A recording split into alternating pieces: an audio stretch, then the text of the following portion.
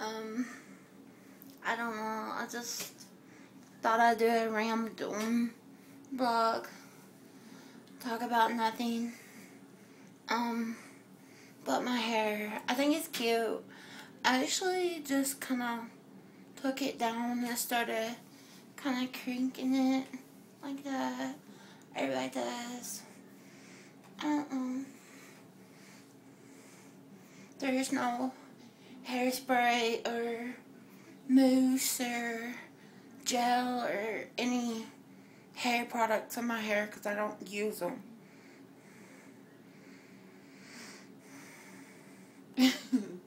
but yeah. Anyways,